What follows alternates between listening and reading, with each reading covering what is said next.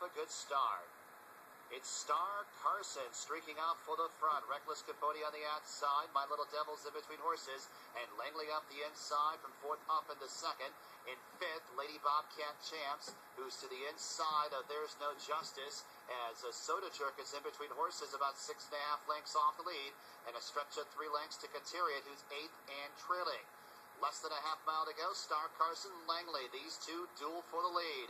Reckless Capote in a good spot on the outside at third. Two lengths to My Little Devil in fourth. There's no justice now going from fifth to fourth. Soda Jerks in sixth and still seven lengths off the lead. A gap of five back to Kateri, who's a length and a half in front of Lady Bobcat Champs, who's dropped back to the tail of the field as they arrive at the top of the stretch. Star Carson the first to face us taken on by Reckless Capote to the outside, and these two are nip and tuck with a final furlong to go.